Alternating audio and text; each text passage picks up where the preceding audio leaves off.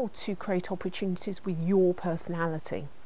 In the webinar, I'm going to give you the three big opportunities that are going to help you to create the life and the business that you want.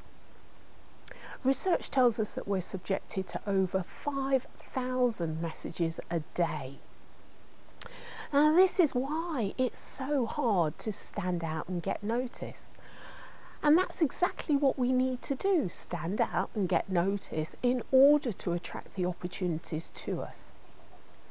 In this webinar, I'm going to help you to define what's unique and different about you, to help you to define not only your uniqueness but your difference, what difference you make in the world and why it's so important for you to be uniquely you. Personality has helped my tribe to know, like, and trust me.